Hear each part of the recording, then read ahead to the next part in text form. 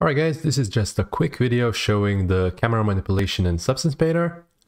And basically all you need to know is that by holding Alt and either one of the mouse buttons, you're going to be able to manipulate the camera. So while holding Alt and left mouse button, you're going to be able to rotate the camera around.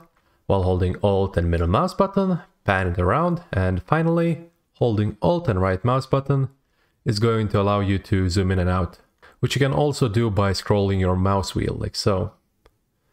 Now there is something that I'd like you guys to know and that is all the camera manipulation is going to rely on where the mouse is. And that means basically if you are to zoom in while having the mouse on the side of an object, it is going to try to zoom in to that area, just like that. This also applies to the camera rotation. If you are having your mouse to the side of an object, it is going to rotate it within that focal point, like so. However, if you were to have your mouse outside of an object, you're going to be able to zoom in and out and rotate it with the focal point being right on the center of the camera. So by that, you're going to be able to rotate it while rotating within the center.